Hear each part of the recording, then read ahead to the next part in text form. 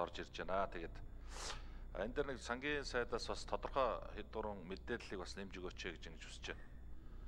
Монгол улсын өөр ямар байгаа вэ? Дээрэс нь бас иргэдийн маань амьдрал, улс орны амьдрал бас хүнд хэцүү байгаа. За мэдээж зээл бол олон улсад хэрэглэгддэг ийм одоо зах зээлийн хэрэглэгдэх хүн. Эдийн засаг нь хөгжсөн том улсууд ч гэсэн дотоодын бүтээгдэхүүнүүд авсан зээлүүдтэй л байдаг. А тэгэхээр энэ дээр асуулт нь мөчлөг сүрсэн гэж байгаа. Энэ дотор чи яг юу юу орж байгаа юм бэ?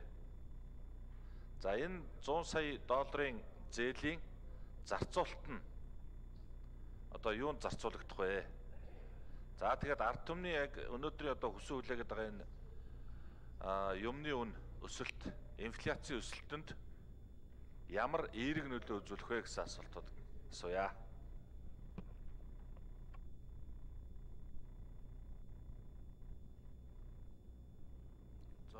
За, болдын жавхлан сангийн сайд хариулна. За, туван гишүүний асуултанд хариулъя. За, бид нар яг эдийн засгийн хүнд нөхцөл байдал за ялангуяа төлбөрийн тэнцэл, төлбөрийн тэнцлийн одоо алдагдлаас улбаатай төв банкны валютын нөөцийн хомсдлын богино хугацааны шоконд орсон ийм эдийн засгийн маань одоо симптом одоо ингээ явж байна.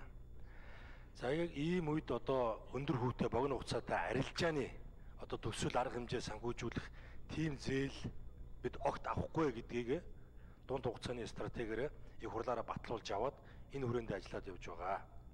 За энэ зээл бол яг цэвэр мөчлөг сөрсөн буюу төсвийн дэмжлэг. За зарцуулалт нь одоо мөчлөг сөрсөн гэдэг агуулга нь төлбөрийн тэнцэл дээр бидэнд одоо валют нь юу юунаас хэрэгтэй байгаа юм. Хэрвээ та бүхэн маань дэмжиж өнөөдөр ингээд сойрхон баталчихвал ер нь бид энэ ондоо багтаад гүлгээгээ хийгээд авчи. За оны сүүлд одоо гадаад валютын нөөц дээр бас нэмэртэй байгаа учраас ингэж одоо оруулж танилцуулж байгаа юм аа. Ингээл ерөөсөө л зарцуулалт нь төгөрг нь одоо төсвүүдээр ороод ирнэ. За бид валюта төв банкны валютын нөөц дээр давж тушах ийм л одоо зарцуулттай. А тэрнээс биш ямар нэг төсөл арга хэмжээ бонд иргэн төлөлт огтос биш ийм юм байгаамаа. Тэг өнөөдөр нөө сойрхон батлах гэдэг маань хэд хэдэн бүх процессоо яваад урд нь их хурлаа танилцуулагдаа байнгын ороод ор ороод өнөөдөр ингээд эцсийн одоо сойрхон батлах шатанда танилцуулж байна.